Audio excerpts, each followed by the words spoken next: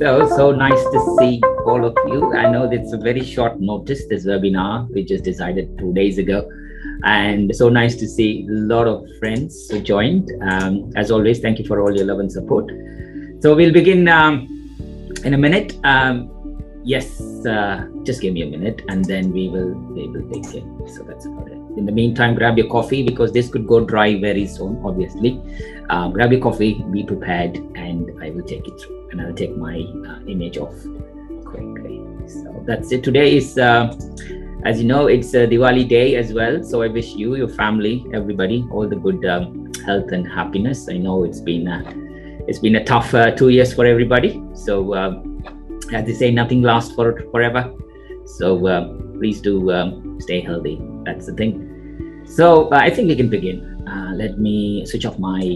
so uh, this is just a small attempt from. Uh, okay, let me uh, let me go back from the disclaimer. Obviously, we are in the procurement mode, so. Uh, the point here is, you know, this webinar has not been endorsed by Crown Commercial Services or Government Commercial Function, etc. Uh, me and my team thought, okay, you know, team is busy. I know there are many live bits that's happening, and this landed a week later, uh, half term. So CCS was kind to release it half week later than half term. What that means is um, uh, the the meeting then goes back uh, to just um, go over Christmas, New Year.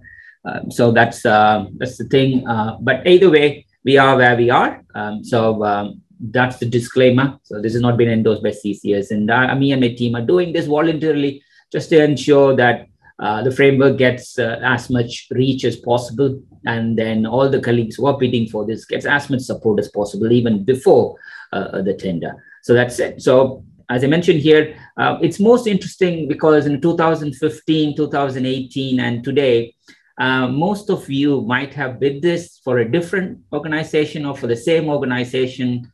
Uh, because I looked at the list, um, you know, I think all the pretty much all the tier one bidders are here, um, which is quite uh, which is quite moving for me because you know exactly what you're doing and you you have been in all the iterations, but for you to take the time to join me and the team here uh, means a lot. So thank you.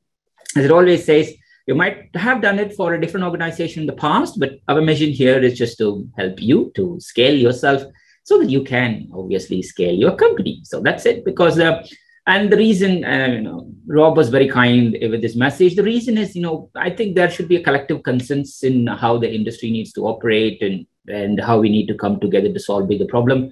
35 billion uh, framework um, largest contract in UK. And as, as he told you early on, if you haven't decided to bid for it, please do bid for it because public sector will go faster than the private sector, at least for the next five years. So, uh, and that's it. So, uh, yeah, there are previous bidders here um, in 2015 18. There are previous framework winners and uh, there are previous call off winners. Obviously, not everybody went on to win it. We will also touch this on this. And then there are a few uh, current bidders. And um, uh, this is what another thing is. I've tried to make it simple. I, we had 150 slide deck but it was too dry. So I just made it like a little notes for you. So which uh, which is available. Um, so uh, what we have here is different roles. So you could be, there are some consultants who have joined in. Uh, please uh, welcome to listen. And uh, if it helps your clients, please do. And as you know, there are sales directors, bid directors, bid writers, commercial directors. And I think there are even Crown Commercial Services in this. If you are, thank you. Thank you for joining as well. So please, if you haven't decided to bid for it, bid for it. But once you bid for it, it's going to be an intense eight weeks. And that's the message that I want to give you with this because uh, it's not going to be straightforward. I can do parallel bid and not. So what we have done here is to the maximum, to the maximum, uh, I've, I, uh, I have pulled because team has built a slide deck, but I thought let's be human um, and let's do how would I read the tender document and what are the key points that I would like to point out to my board uh, on this tender document, to my team on the tender document, and let's just do it that way. And that's this whole document here. The shading and other things is the way how I operate. And if you manage to get one point, two point, or something out of it, it's a bonus, or it just it's just for me to to refresh and uh, give few other pointers that you can also take it to the board. So primarily, there are two key points here, but I also went through the other things. You know, I am now thinking the pricing and the schedule part, um, if there is enough interest, more than happy to do a deep dive early next week because I wasn't able to do it because there are 52 schedules. Um, that schedules plus uh, the pricing metrics, uh, which is slightly different to what it is. I wasn't able to go as much as you want to. But if there is enough interest, uh, you know, at the very end, I'll ask for it. We will do one, one more deep dive on this uh, specifically early next week. But for now, let's just go through some of the principles. Please take notes um, because we, we, we will be um, we will be sharing the recording only to the attendees who joined today, uh, plus uh, uh, the, the template and the other things. What we thought was this, we just thought uh, we'll put a price tag of 95 pounds for this and we donate it on the Remembrance Day to the Royal British Legion because it's Remembrance Sunday. That small money um, will, will just um, uh, will just help the colleagues, uh, help the industry because obviously if you read the document, Armed Forces Covenant is is welcomed. So this is a small part. If that helps, if you want to note this notes, there is a small tag of 95, which you donate to the uh, Remembrance Sunday to the to the armed forces. That's it. So a very quick uh, wrap around um, on this. Um, you know, it's it's for central government, but as you can clearly see, the introduction of Lot Zero, uh, one A, two A, and three A means um, A is not only catered for SMEs, but B it also supports the likes of education and schools um, education, uh, sorry, uh, schools and uh, and local councils and colleges where you normally see the spend, uh, you know, spend never crosses more than a million, million and a half ish, at max three million. So you can clearly see the framework on one end has got a lot of improvements from the previous iteration from the supplier side, which I'll touch wherever I can, comparing uh, the previous iteration to this one. Plus, um, it also uh, kind of um, uh, improved from the buyer perspective as well. Point to note here is, is a multi-supplier framework, which means there is no rest cap on how many suppliers can enter on this. So that's why we just want to go uh, bang on on this because 35 billion spent. Why 35 billion? Because many of the contracts that was outsourced in 2014, 15 didn't come through on the 2018 iteration, which kinds of put off some of the suppliers last time.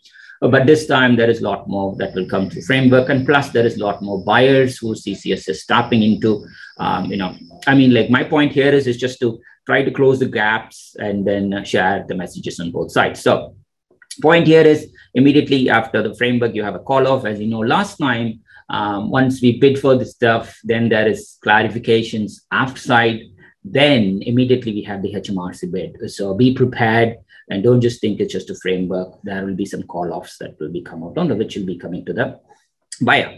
So um, here, uh, the framework is for 48 months, uh, four years, um, starting April. And uh, as he pointed, this last time it was three lots, now it's nine lots. So, and also last time it was total contract value, now it's annual contract value. So it might be much more accommodative to the other public bodies who procure that way. So uh, you, you know this already, refresh this, take notes um, if you prefer. So uh, first one is FM, TFM, the lot two is hard FM and lot three is soft FM.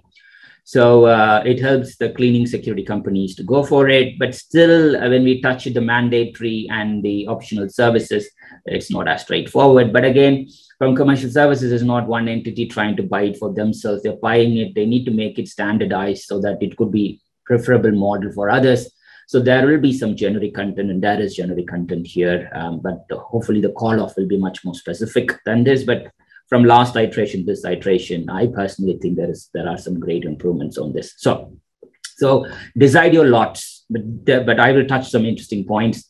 Um, so TFM is lot one, um, and uh, hard FM is lot two, and soft FM is lot three. So um, even though you could, there, uh, as it says, there is multi-framework contract. So what that means is there is no cap. So in each of those lots, there is no cap on the individual um, suppliers who could be in these lots as well. Having said that, so uh, uh, you know you. I, I, I, pretty much rather than me trying to second guess, I've just written exactly what's written. You can submit all of the lots. However, please note that if you're successful on all lots, you will be restricted from being awarded a place on not more than two of the three lots per lot, grow, which means it's going to be TFM Hard FM or TFM Soft FM or Hard FM Soft FM. So uh, I know last time, pretty much the, most of the tier one suppliers, they used different legal entity to bid to enter different lots. Uh, just to let you know, uh, if you plan to do this this time, which I wouldn't recommend, pick your lots. Uh, you might be excluded. So I, the last thing you want to do that is uh, the legal entity um, that uh, that you pitched for, say hard FM, soft FM, and uh, then but you are a hard FM company just in case you you just added soft FM with your partners. But if you want you want to be part of TFM hard FM, imagine if the if the entity that you wanted to get in strike is being striked off, uh, which is TFM Hard FM, and only Hard FM Soft FM, which is the sub- subsidiary that you try to enter, just so that you, you you are not missing out on opportunities is the one that goes in. Just be beware of this because CCS is absolutely aware of this. So when you are designed to go for it, uh, you know, go for 80 20. Where, where do you think 80% of your opportunity is going to be? And choose those lots. So you don't want surprises halfway through and then said, oh, sorry, you can only do pick two. Um, you know, so um, and there is only one legal entity that you could go for as well. This is after contract, so we don't want that thingy. So just keep that in mind so timelines, um, as we go for the timelines, it's very interesting. Um, clarification questions. Now, I've, I've gone back to the very basics because we have bid for, for different organizations. I, I bid for myself for when I was the strategy director uh, with a with few friends here. You know who you are. 2018, we bid again with the two organizations, then FDES, then um, estates framework, uh, you name it, um, then accommodation framework. We pretty much did all the bids. So if you have experience on these things, there is nothing uh, unusual. Standard stuff is standard stuff, and then you will know the other things. But either way, here, please do uh, please do keep a note of this. I know you might have already done this, but let me revisit. Uh, the tender came in say Monday. Um, so uh, and but then you have the clarification questions, which is 22nd. So assuming it came in Monday, say it's 1st of November the tender goes in on the 4th of January, you might be thinking you have an eight week window uh, with the 10 day break for Christmas. Uh, because again, big team uh, might need to work around it. It's, it's unfortunate, um, it's not fair, but it is what it is. But you have your governance and you have other things. But even before that, people who know clarifications last time, there were 960 clarification that was received within first two weeks of the procurement. So today we are in uh, 4th of November. So by 22nd of November, most probably, remember that for three lots, today we have nine lots. And there are a lot more suppliers who will be bidding, whether they continue to submit, especially on the SMEs is a question mark, but there will be questions.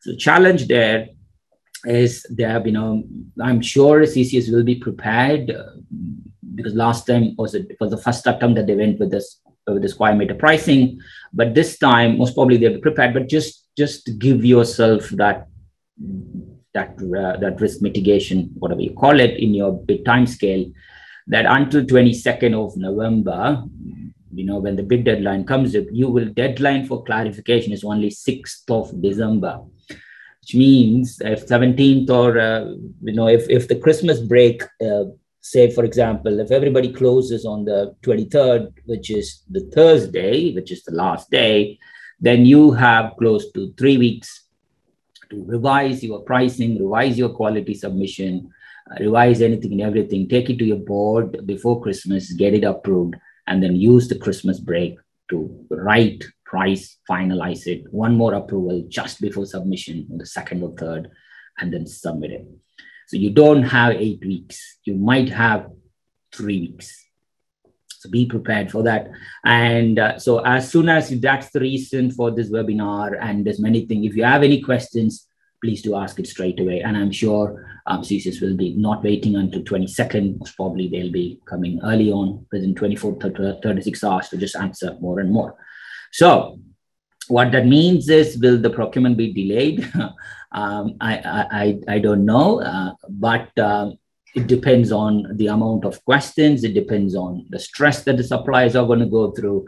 But certain elements, um, regardless of the framework, is only quality and pricing. But there are certain elements we all know uh, will not change. So which which we can work on it, and not everything will impact um, the pricing as well, which I'll touch it gradually. So what you can do between now and November uh, which is not going to change now and end of November, and what are the clarification questions that might impact your pricing and things. So work accordingly, resource accordingly, so that you are at the right place. So as I mentioned here, um, you know, use the e-sourcing tool and to do that. But last time there was some issues where uh, actions log, uh, if I don't know whether you you you remember that, some responses were in the website some responses were in, in a different portal, the e-sourcing portal.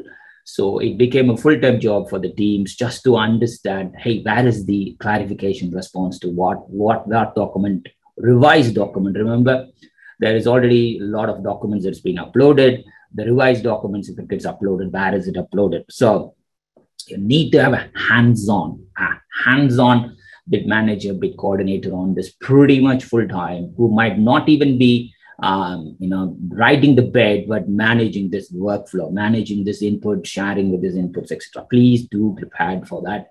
And because when things move on the other side, it, it have a knock-on impact on your quality submission, a knock-on impact on your pricing assumptions, and so on. So so it will be admin heavy uh, to monitor the change, sharing to the wider team, then updating it, asking any further questions, documenting it, bringing it back, and so on. So I'm, I'm just repeating what you already know, but I'm just reminding you uh, because this might come again because it, it, that happened four years ago.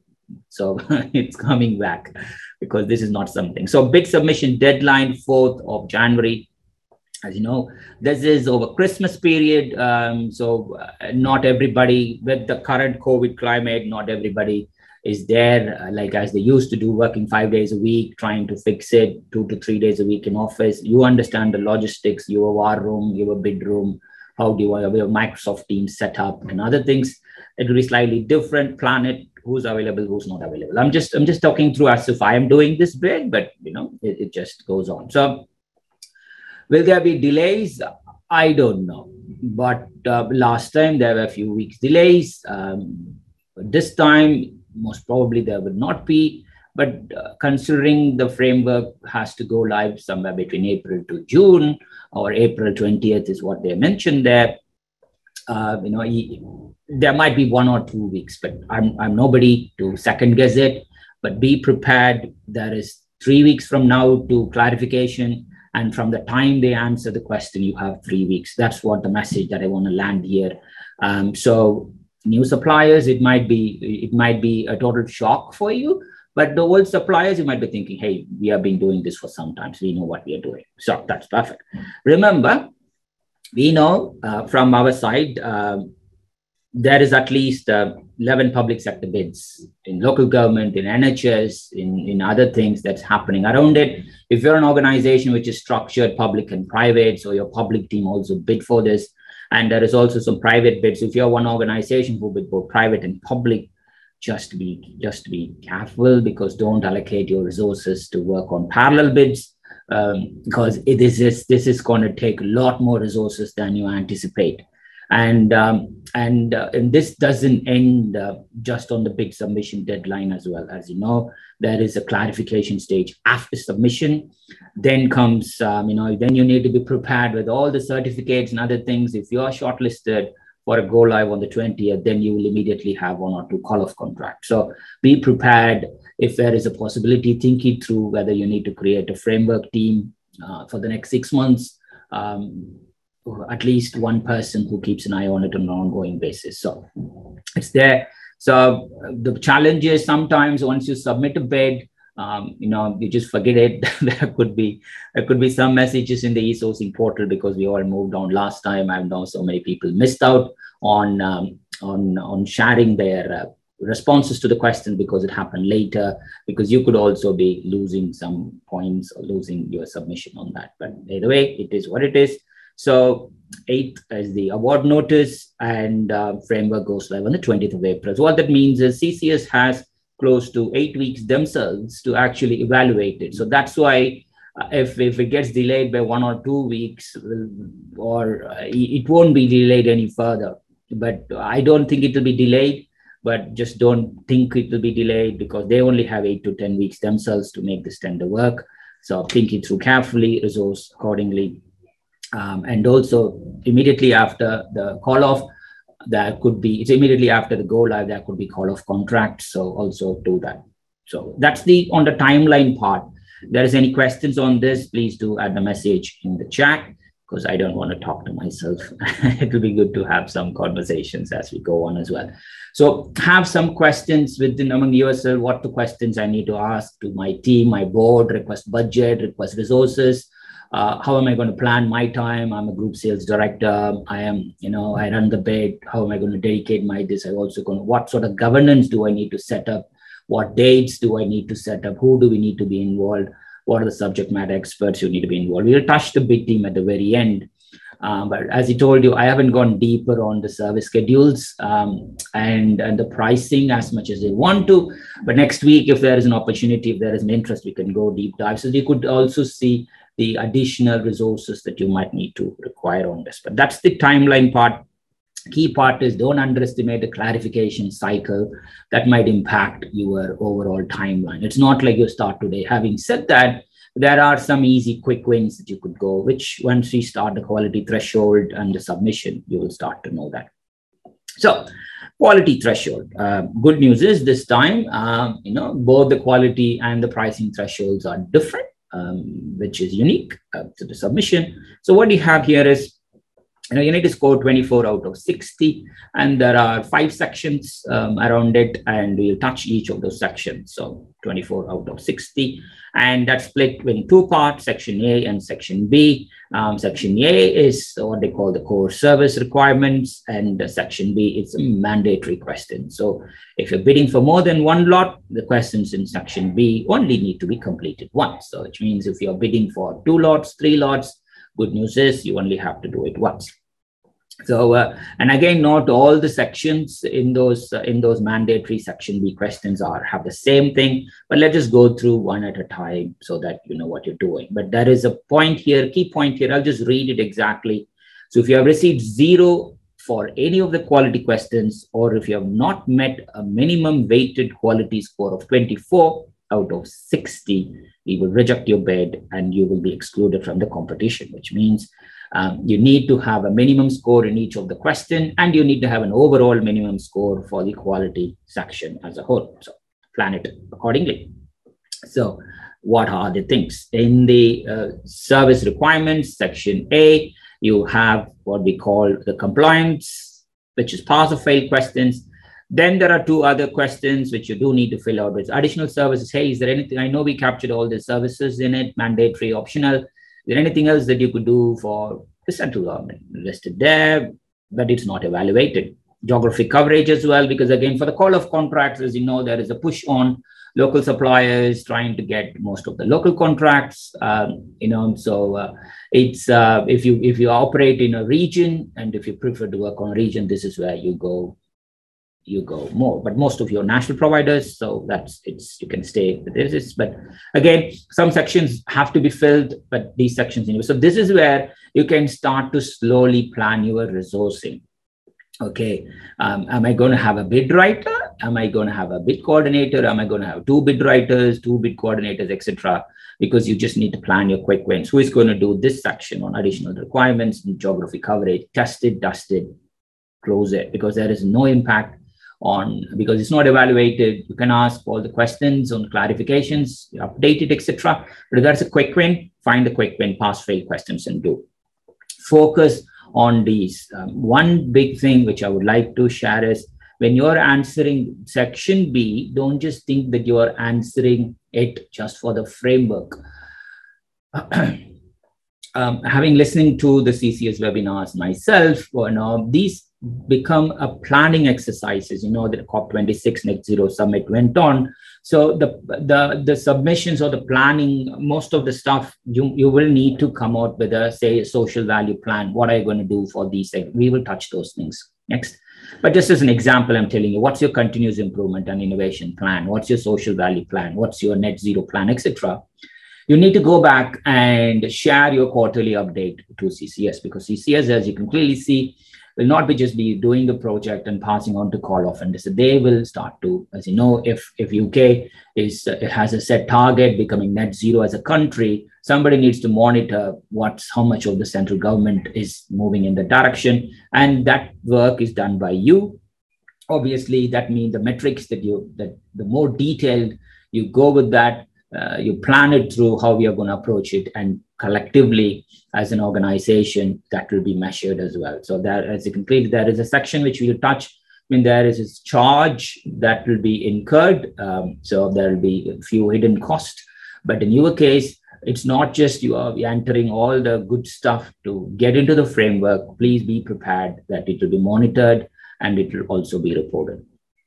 So when you look carefully on this, five sections as we talked about. First one is continuous improvement and innovation. What content it comes next, but look at it as principle. These are the key sections that you need to go for in addition to the service questionnaire and other things which will come.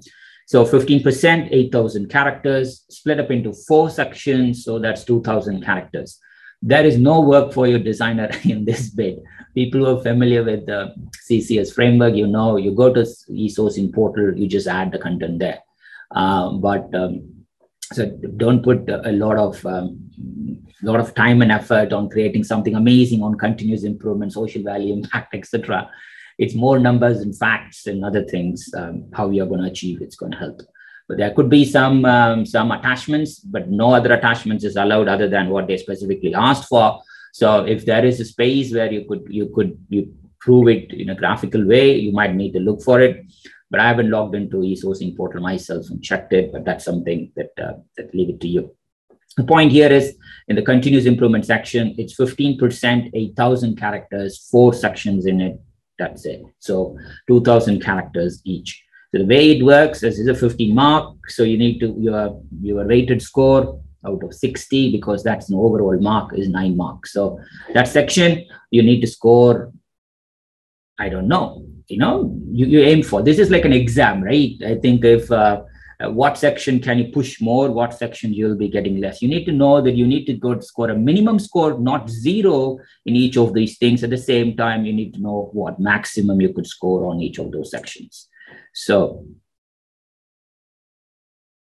yes 100% julian the question was uh, from 30th September 2021, most public sector contracts over 5 million ACV need a carbon reduction plan. We assume this is relevant in RM 6232. 100% it's relevant to RM 6232. That's the point that I mentioned, because your carbon reduction plan will be monitored, measured, and uh, they will be questioning it. Have you achieved it? If not, if that's great, show us where. If you haven't, why not? So these are the marks that you need to look for carefully. So you know, and, and you can clearly see the way that they are scoring, it's, it's like 100%. You answered all four sections, great. Um, uh, you only answered three sections, great. So you scored 75. You answered two sections, great. Or you answered all the sections in an average way. So you, you scored 25, 25. So the pointers are there in the evaluation guide, but I don't want to repeat everything there. So what you have here is continuous improvement and, and innovation, social value, as expected, 25% sustainability between carbon net zero or uh, what we call the energy efficiency and also wastage. Um, you know, you have 50% there. Then you have the other things that split across. How would you do call of contracts, mobilization, which is, as you know, you all have process methodology and stuff. And then you have the service delivery of managing the contract. So this is a standalone element. If I were you, I will give this to dedicated um, people who can do it to ensure um, they, ensure they get a first draft, second draft, third draft. Because regardless of um, of, of things, you know, you know some questions. You know, let me let, let me show the actual question so that you know what, what you're talking about. So, innovation for sections. The parts that you need to split across is practical application, how in a practical application of innovation how where did you practically apply it remember case studies and stuff takes time you might have it but you need to make it punchy enough based on the service schedule for this client reduce costs and adds value where have you demonstrated that reduce costs and adds value show us how you collaborated to do that. Service delivery continuous improvement. You know, pretty much as he told you, all, all of you are tier one suppliers. so you you might have written it to death, but customize it as it is. You can even go to a to a different aspect. So you, can split those questions. If you want to score the maximum marks, you can split those questions where just not one person write this innovation section. Who's going to write the practical application? One. Who's going to write the reduced cost and added value? Another person. Who's going to do collaboration? Remember, these are unique 2000 characters so if one person writes it and, and you cannot link one answer to the other, these needs to be standalone with themselves. So uh, split it up. So there are five units here. So social value, again, apprenticeships. What are you going to do with working with local suppliers? Are you employing any disadvantage, any people from the disadvantaged community? And you are not just employing them. How have you given them work progression in, in your thing? So it's something that you need to write, it's something you need to measure, it's something that you need to prepare to continuously do. Sustainability, three sections. This is where, interestingly, sustainability section scoring is slightly different. Sustainability section scoring is actually higher than the other things, which means um, it's 33, 66, 100. It's only three sections. So, you know, that's where I think all of you, um, I believe, will score a lot more on that. So, reduce greenhouse emissions and carbon net zero planning, and uh, reduce energy consumption and recycled waste. So you can either do it yourself or you could ask for external help, um, you know, because there are lots of uh, people who are working on this. So prime, prime point here is split it up. And these two are related to your, your actual service delivery and the way you're going to mobilize it. This is unique to your own company, your way of operating knowledge of the public again uh, this is very interesting i will touch it uh, last time there was only public sector contract as you know we have 300 slides on public sector contracts we recently tried to uh, download that you know distill it into bytes by bytes but even then it came to 300 slides. It's not something that's easy to digest but and at the same time the contracts are non-negotiable. You could ask questions about the contracts. It's in the contract today but you are you can't mark it up and say we agree we don't you know you, you can't negotiate. So it's very clear typical ccs that but that's how, how they how they operate and then uh, in addition to that this year they have accommodated nec 3 and nec 4 so there are links which are which is which is there and there is it's 65 pounds 62 pounds 50 you could download those contracts as well and read what that means to you. If you if if you, if you have enough time after reading other the 80 odd stuff that you need to read anyway. But again uh, why it's important here is you you need to demonstrate your knowledge. Where have you uh, have run contracts with the nec NEC 3, NEC 4, where have you done contracts with public sector, which means if you're already part of CCS, that would be a tick. Then uh, how do you ensure that over the lifetime of the contract, you keep the service delivery? your, your, your, your plans to achieve KPIs, how do you monitor progress, mitigate risk? Those are fairly straightforward. But again, considering individually it's 2000 characters, you need to go at least four different drafts versions on this. So it cannot be a fluffy, I'm sorry to use those words, but it cannot be a generic uh, response. Uh, please do, it needs to be very, very real to score the maximum because of, the good news is you are not competing against each other. You are just competing against you on this tender. How much mac what's the maximum score? Am i going to get it because everybody is a winner on this because everybody is going to enter the framework if you hit the score. It's not like only five will go through. Everybody's going through. So on that perspective you don't need to worry much about the competition. You just need to worry more about am i giving the best shot from the knowledge library? Do i have if i don't have it who do i need to go to get these information? And as you can see here resourcing wise plan it carefully uh, who is going to manage innovation response? Who is going to manage? If one person does it believe me i think your chances are not going to be as much as, as you want to go because maybe service delivery is one mobilization is one sustainability 100% dedicated person social value dedicated person innovation. And i say dedicated person is um, let them focus on this one response alone because 20%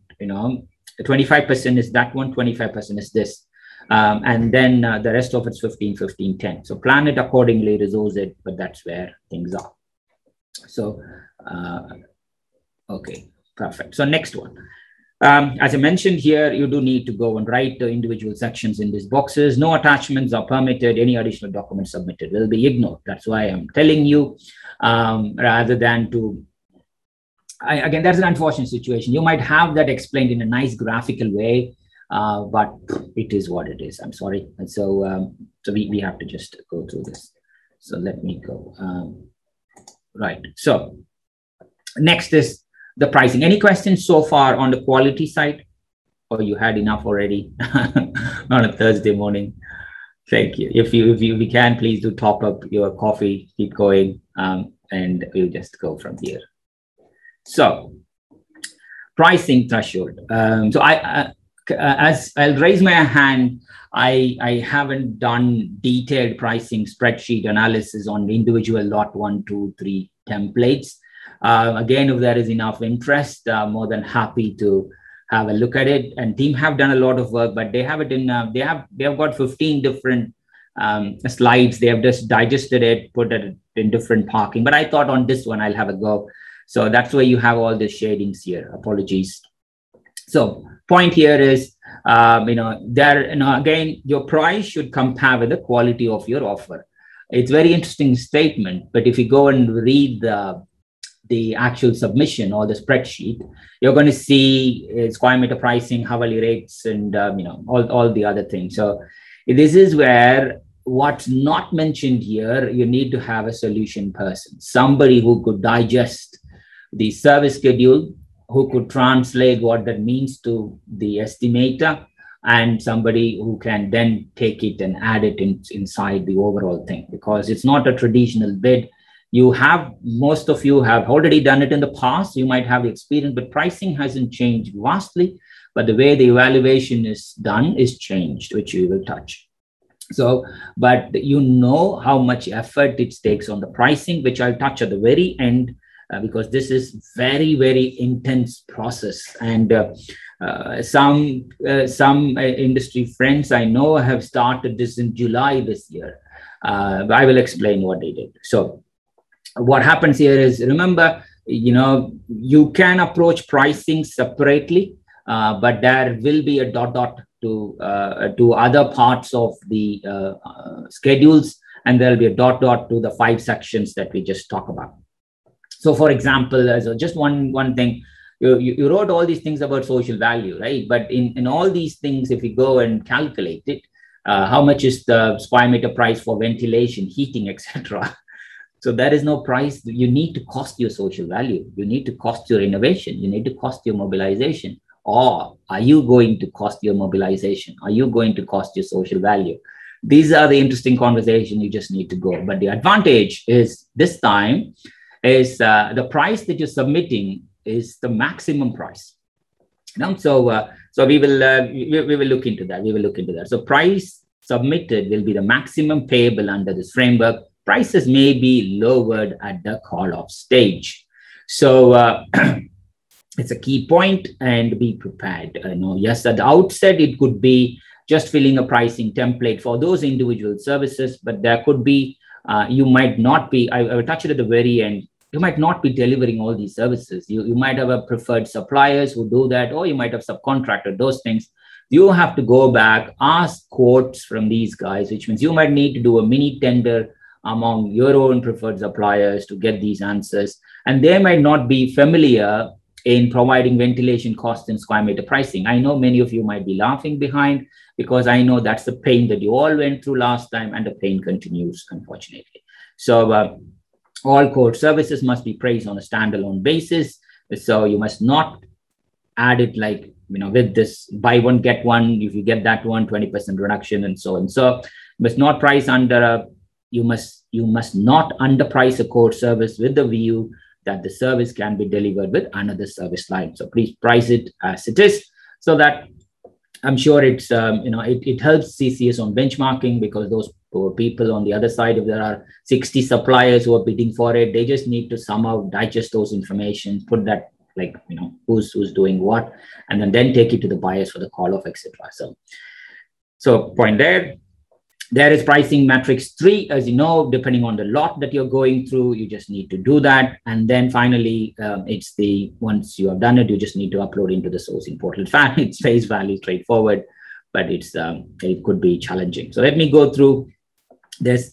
Uh, bidder submissions will be evaluated against other bidder submissions. So again, in the how to bid uh, part of the thing, they have they have given lots of metrics, they've given lots of evaluation. I'm not going to go deeper on that Either way, it's based on an optimal value.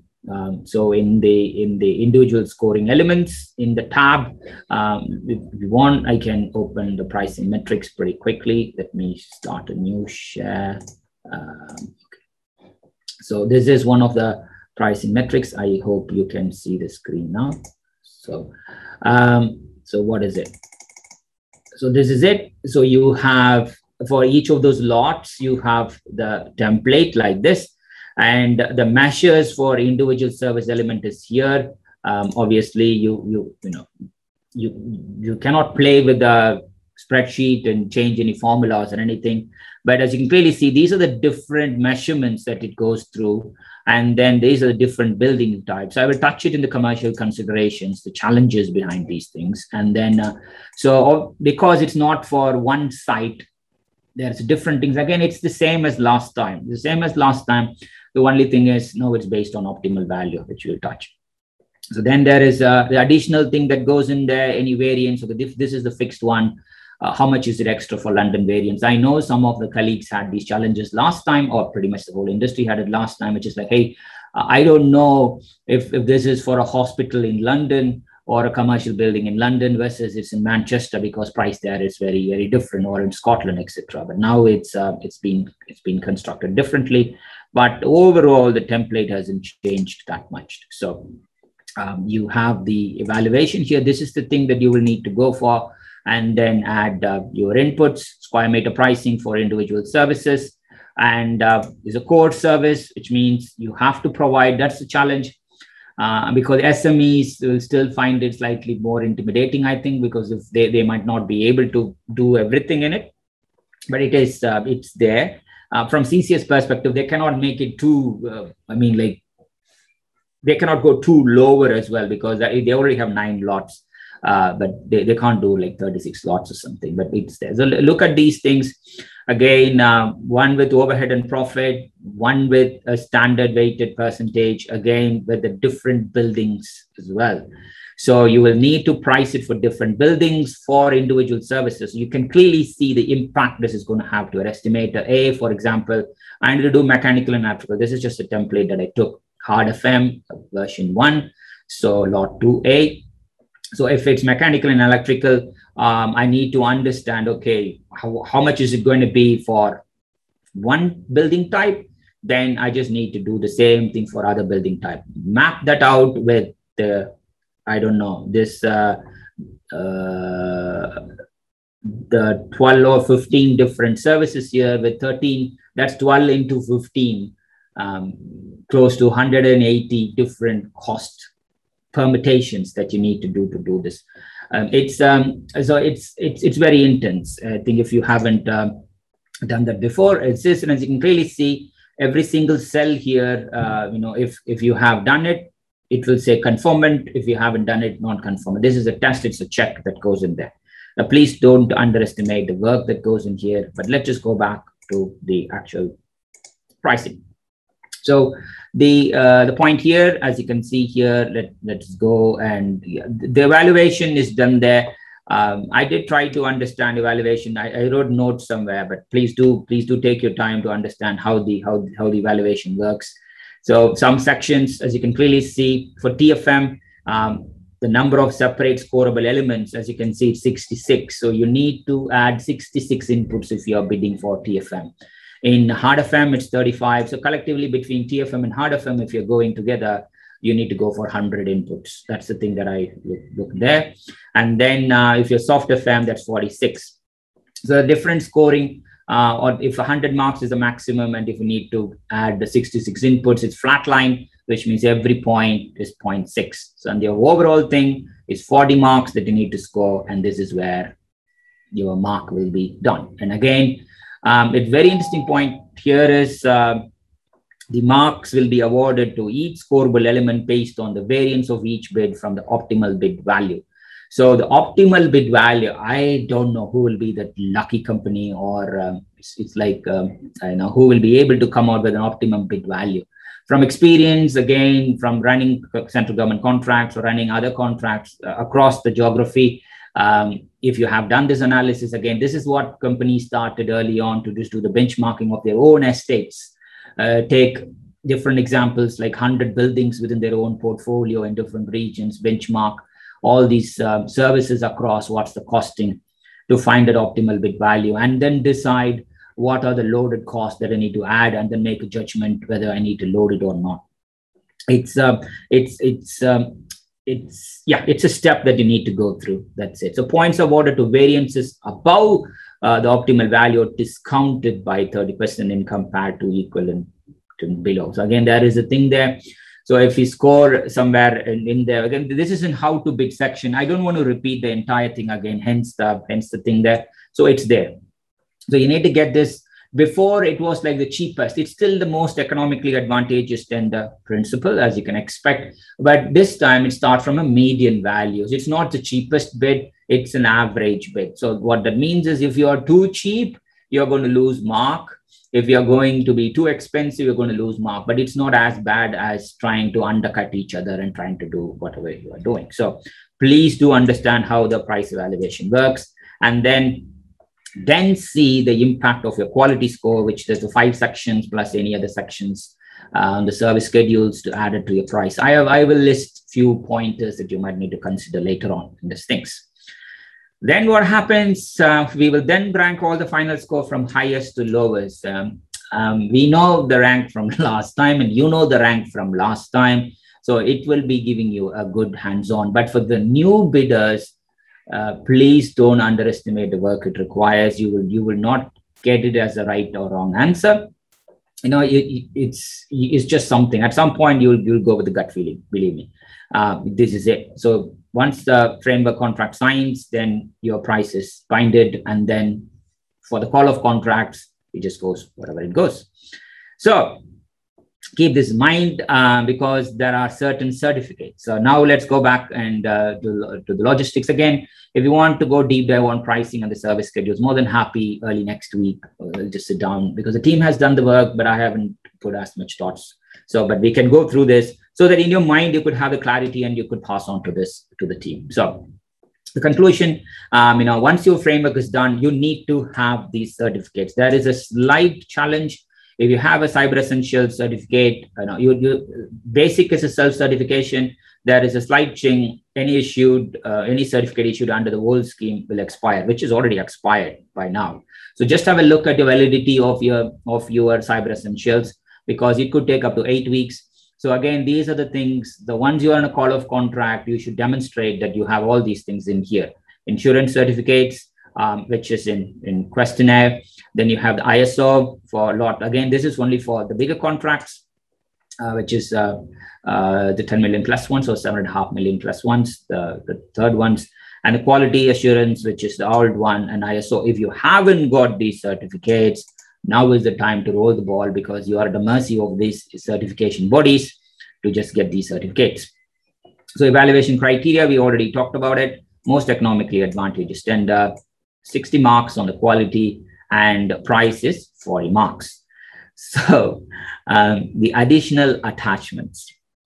So now we saw the we only saw the quality and the pricing part. You know, you, you might have already thinking how am I going to allocate my resources because those are standalone. Selection questionnaire. Most of you might have already completed the selection questionnaire, but please, if you don't have try to push it through in the next two or three days because some of the certificates and stuff we don't have it's tough uh, apply and get on with it. But this is a tick because only if you successfully pass the selection stage you will even proceed to the so-called award stage uh, which is as you know um, is what we talked about in in that section a and section b early on on the quality and pricing.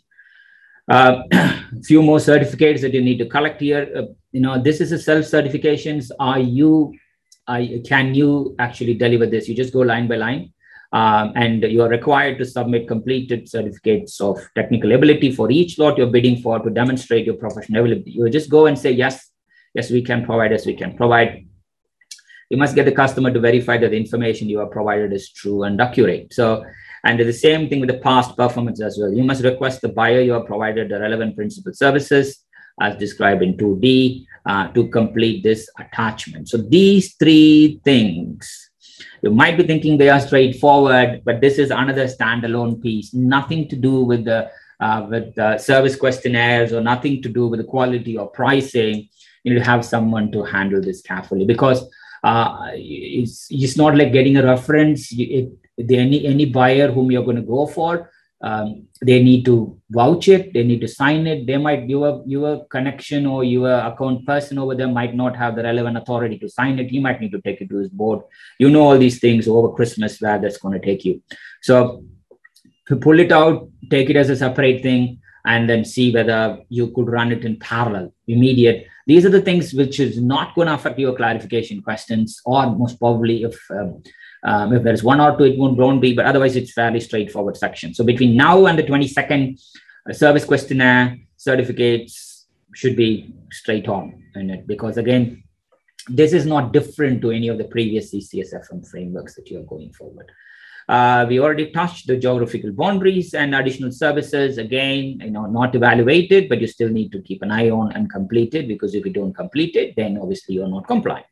So price matrix you know you must complete the price matrix. We already saw that.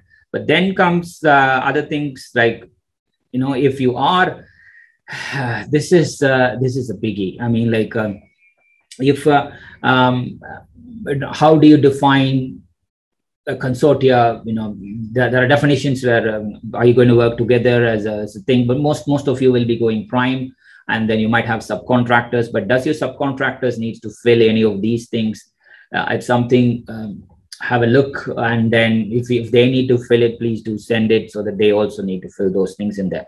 So these attachment four six and seven um, again it's a standalone piece of work.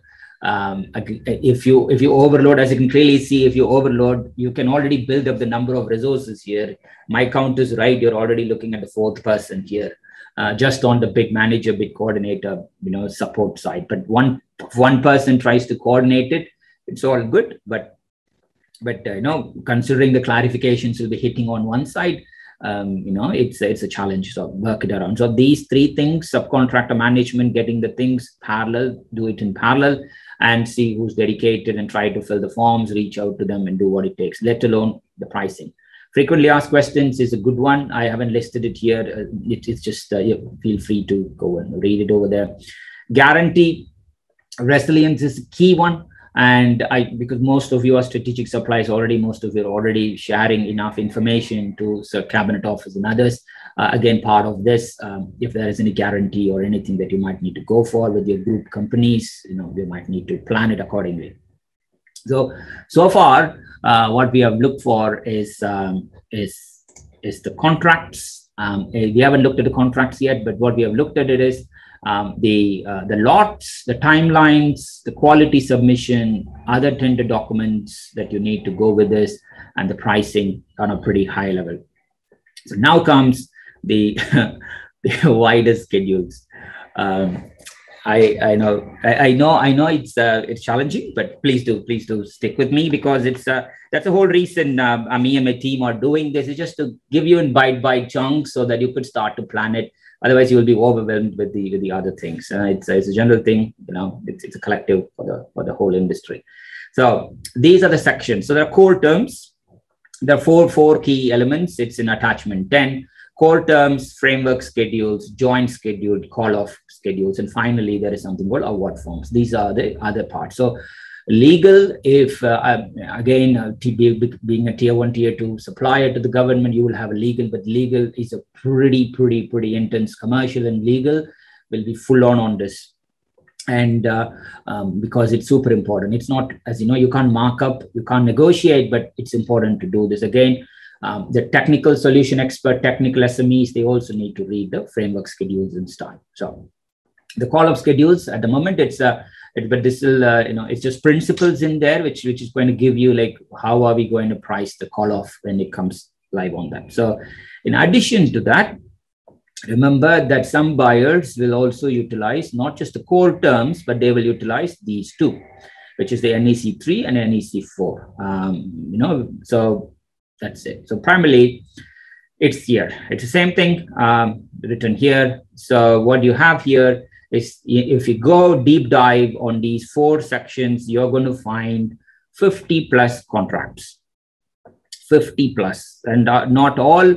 Um, again, you know, some I've just highlighted here uh, because uh, if you go and read the document, you will know some are optional. Right? Which, even though they say NEC3 and NEC4 are optional, you know part of the quality uh, quality um, sub- submission, you still need to uh, put your understanding of NEC 3 and 4. So I wouldn't take it as a as a kind of uh, you know uh, just take forward but again priority wise start with all the black ones here and then you have the blue ones which is like you know it's not mandate the right word there is um, you know is it optional yes no um, these are being quoted as optional um, so again uh, you read it. I haven't read it. As it, as I told you, schedules I haven't gone deeper on this, but if you want to, these are the things. So the black ones absolutely must. The blue ones um, are optional part, but this is where the interesting thing comes in. You go and have a look at the pricing. Um, this is a quick scan. You go and have a look at the pricing. Um, you know, you, you need to cost it based on how you're going to deliver the service if you are going to deliver the service, you know you might have it from your experience in delivering similar in your previous building types in some of your other contracts. Or if you're subcontracted, you might need to give some specification to those guys to just get the quote in, then add with US margins, overheads, etc. I already told you that there is a quality impact on this, where uh, we, we have to look into uh, um, what's the social value, what's the mobilization, what's the other thing. In addition to that, these are some of the other things that you might need to think that might impact your pricing. Um, ICT services, continuous improvement, transparency reports, which you need to provide. Because remember, you, you, are, you are not walking away from bidding this. There is an ongoing cost to service this framework. And uh, these are some of the elements that I highlighted uh, which you might need to, you know, even though they say TUPE could be applicable, TUPE might not be applicable at this stage because obviously you are not getting a straight contract now, but there is a TUPE surcharge premium and other things, which was a topic, big topic last time, and it continues. But this time CCS is very, uh, very kind to just said, hey, it could be applicable, but it's, it's up to you to just take a position on this. So these are some of the charges um, and the additional things that you might incur. Uh, whether you are going to add it in the pricing, um, you will need to take it with your board.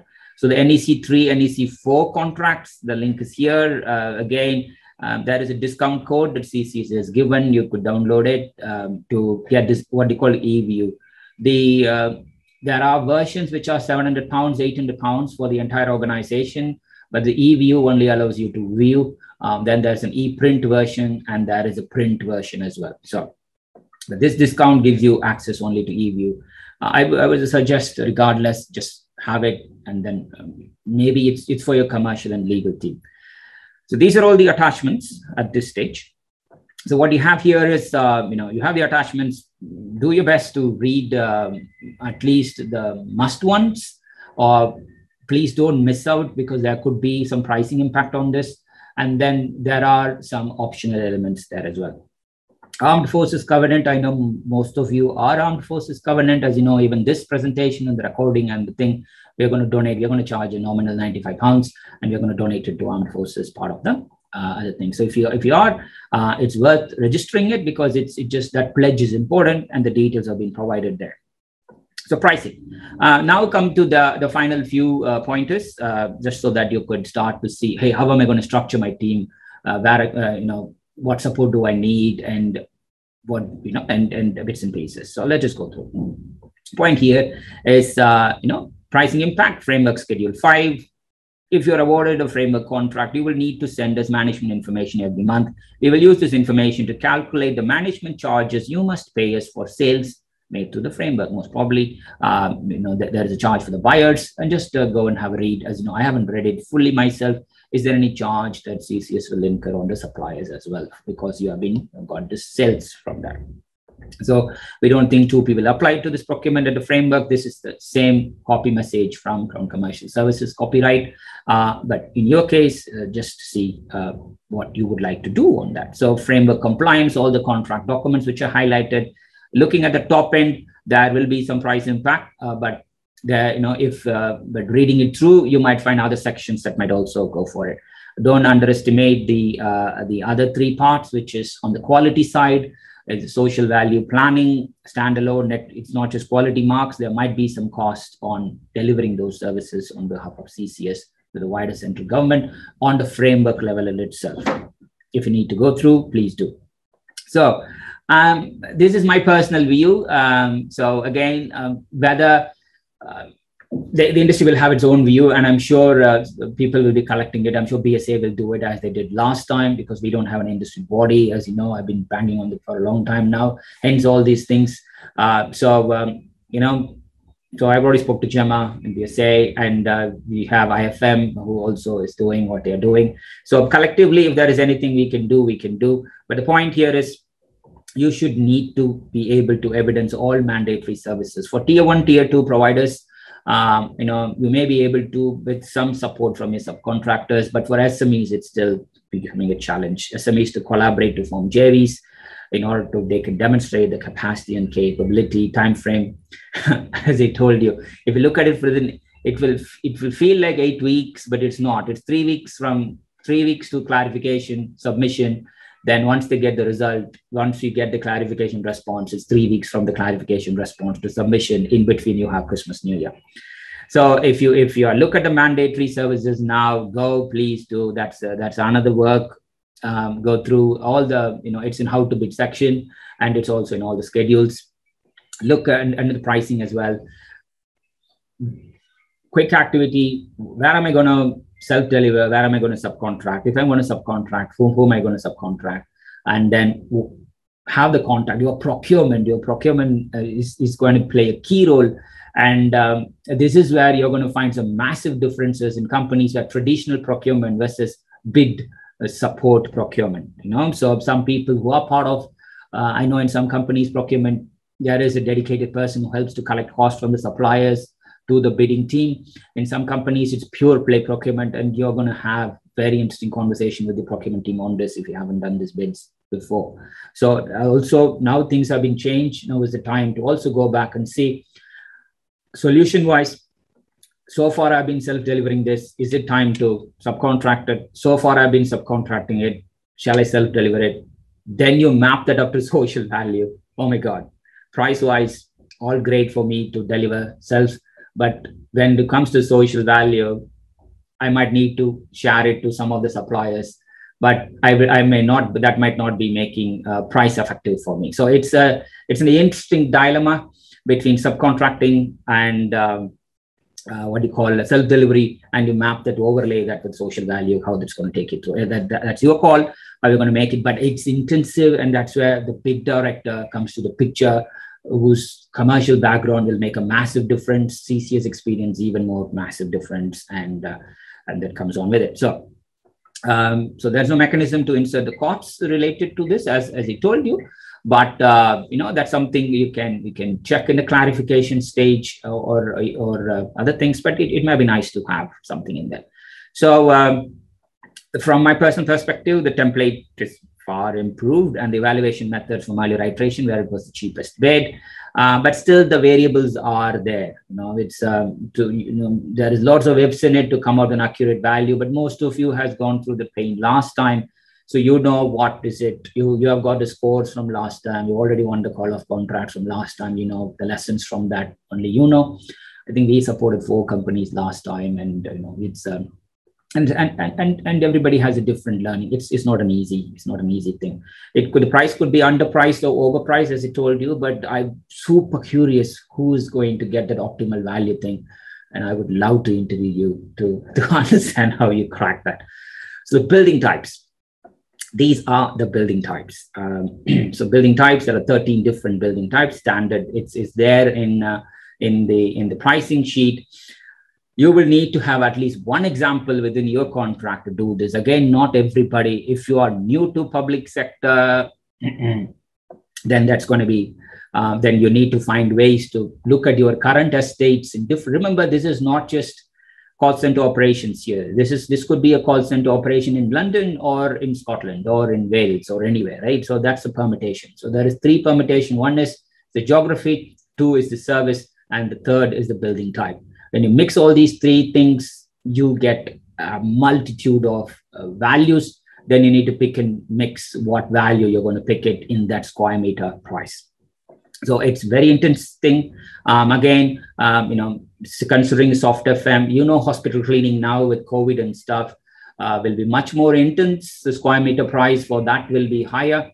Uh, but the good news is the pricing now uh, is has now been also been marked as you clearly see for different building types, which means you can now add it. Before it wasn't.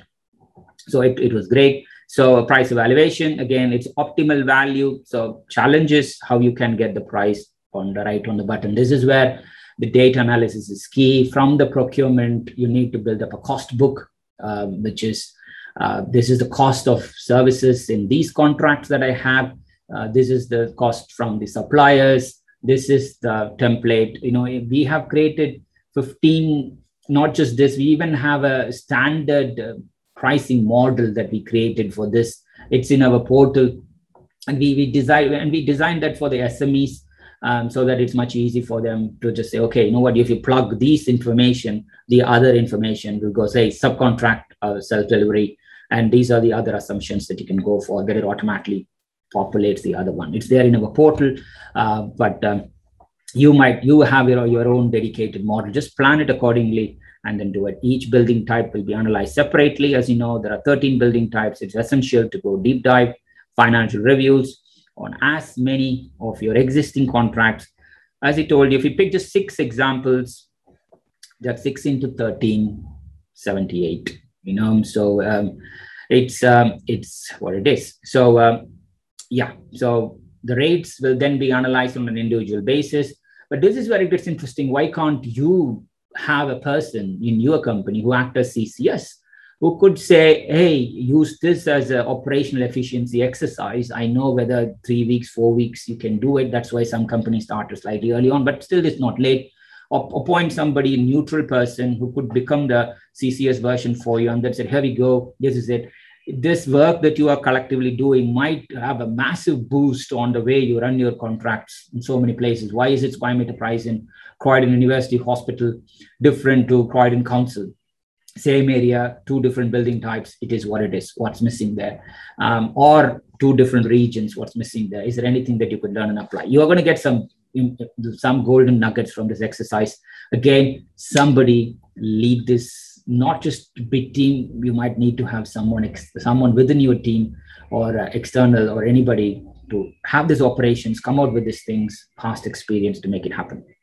The, the unit of measure you know not always square meter hourly rate or uh, you know BIA rates etc etc um, so as you know you might be used to go having an asset list and doing that again ev- most of you are done the have done the bits before um, it's the same uh, but for new providers you if you're waiting for an asset list to come uh, tough i don't think it will come so uh, commercial thing and again um, this is a point I already mentioned, just as a simple example, right? While I was looking into some of the services, I haven't gone deep dive, but just some of the services. Uh, you may self deliver some of these or outsource some of this. Um, some services you may you may have not quoted for before, in, in which case you have to source new suppliers quickly. So your procurement uh, might ask you to fill a form. Then they go back, do a market exercise, two, three weeks. They might do something. You don't have time for those things. So, who is it going to to understand the timeline thing? Who's going to help you to do this? And um, and you know, it could be CAFM, it could be help desk, it could be something that you can do yourself. There could be certain elements that you always go elsewhere. You know, so this is where a dedicated person to do the building types, to do it, plus the procurement, other things you might need to have someone else to just very quickly look into that. I need to get all these quotes.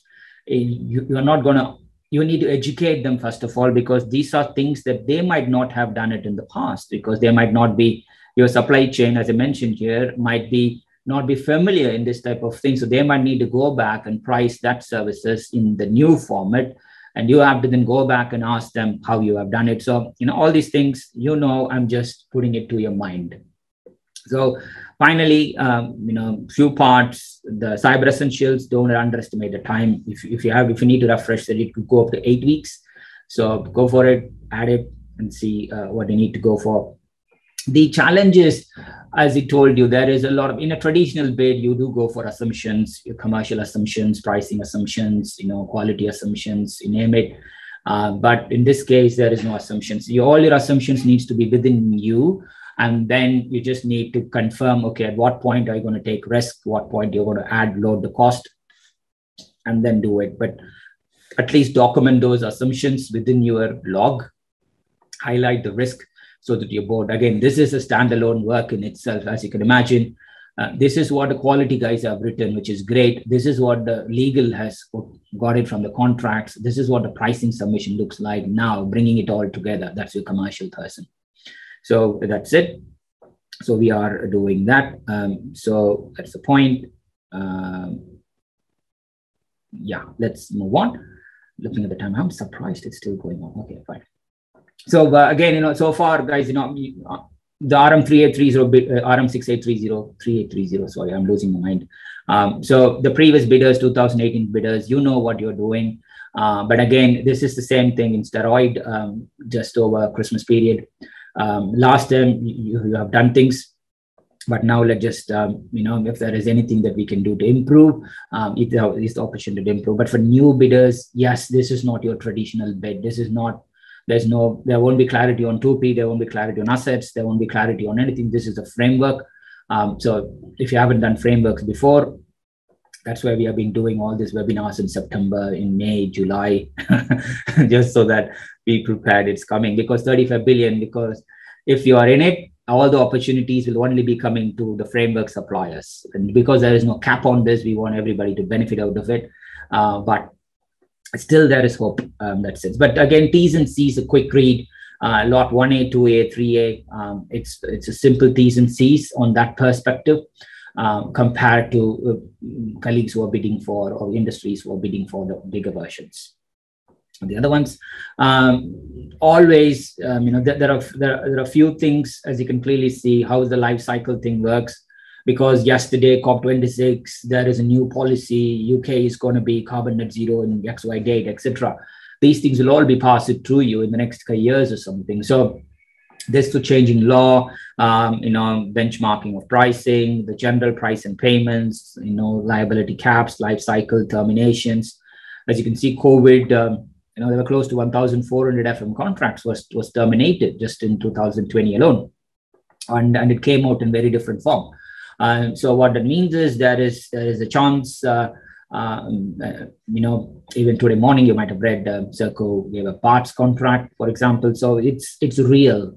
So don't, yes, it's intense on the quality side, pricing side, selection questionnaire, insurance certificates, um, and uh, anything else building types etc but this is also real on the terms so again now you know how the clarification is going to go why there was 960 clarification within first two weeks it's all going to come so few reminding pointers um, you know analyze your building types, minimum sample size, at least by based on the services and geography.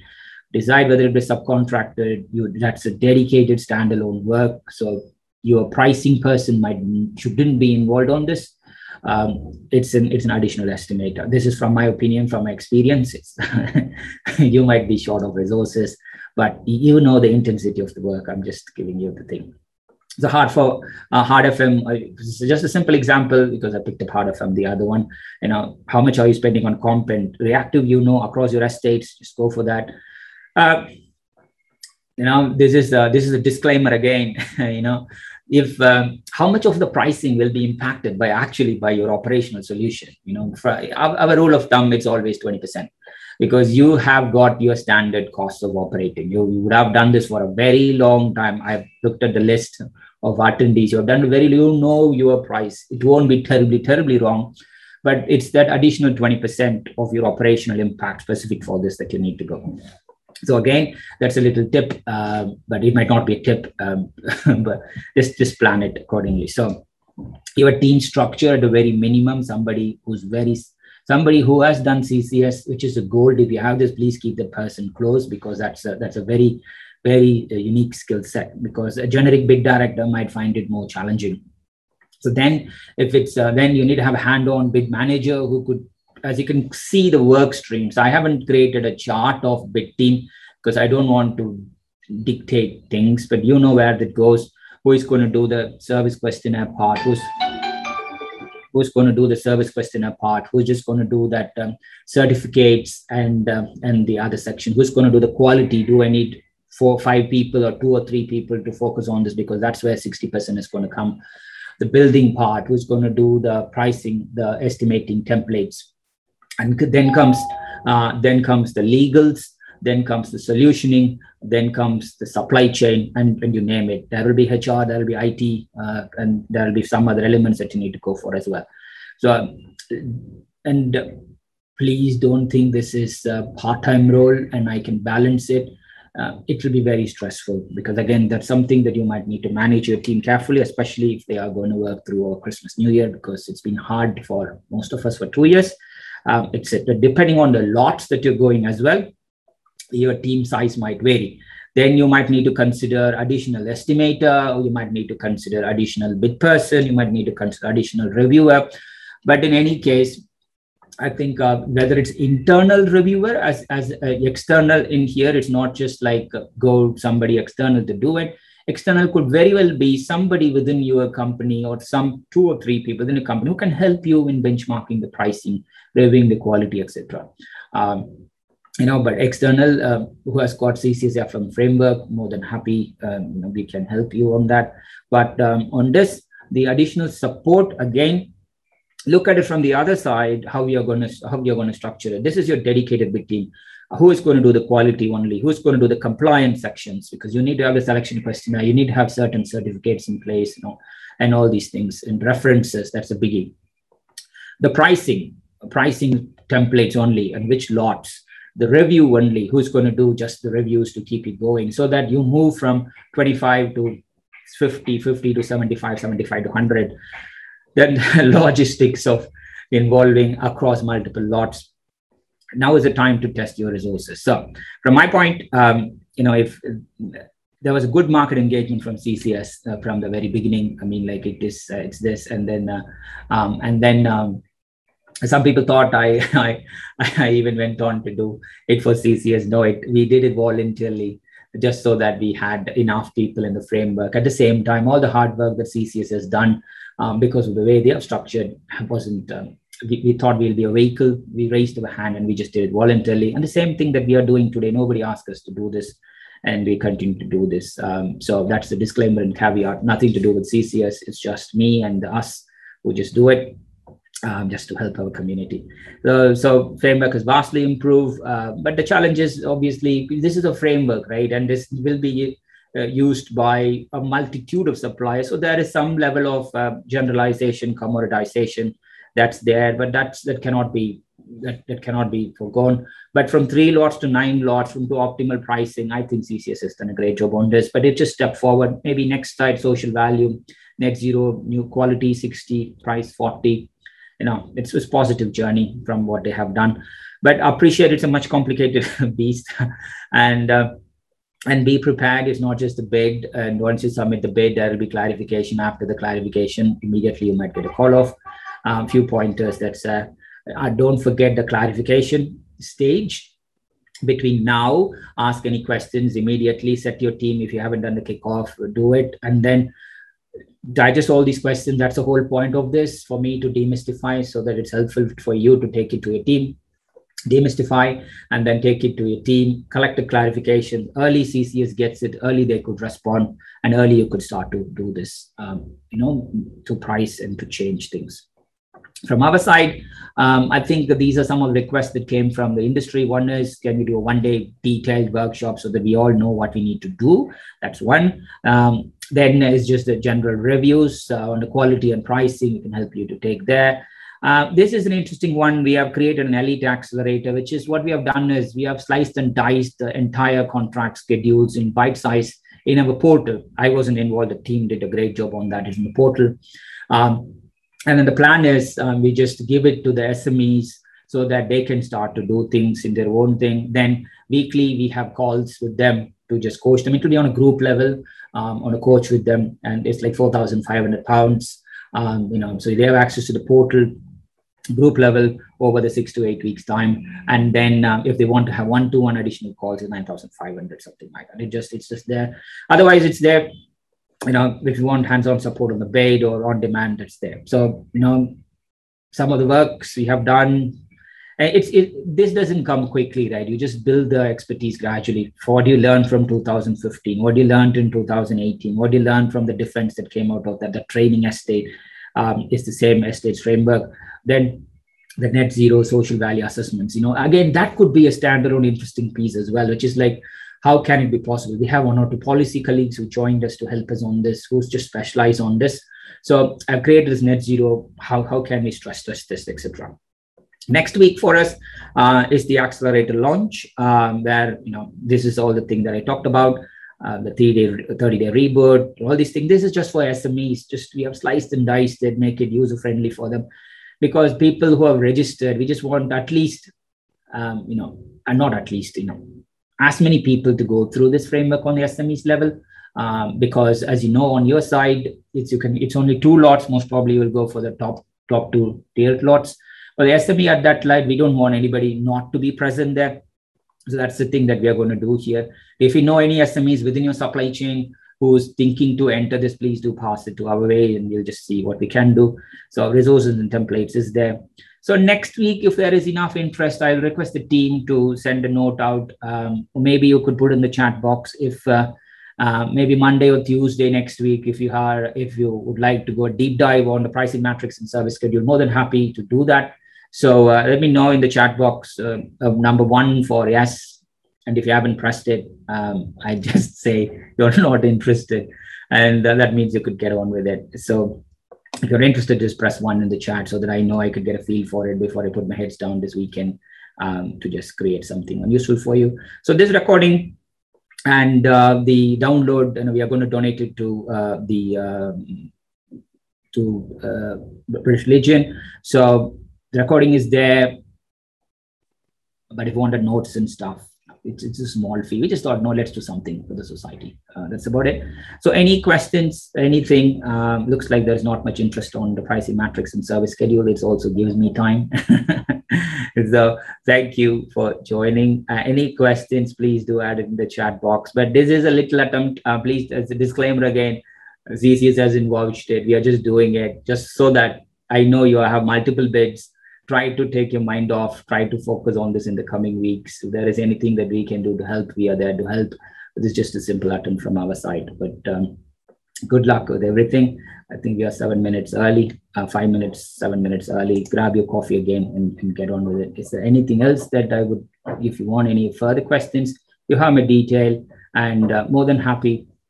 I'll, I'll request team to uh, send uh, um, send a note out um, to everybody if, if there's an additional session that you need on the pricing and the service schedules and the other things more than happy to do that. That's it from me. Thank you so much.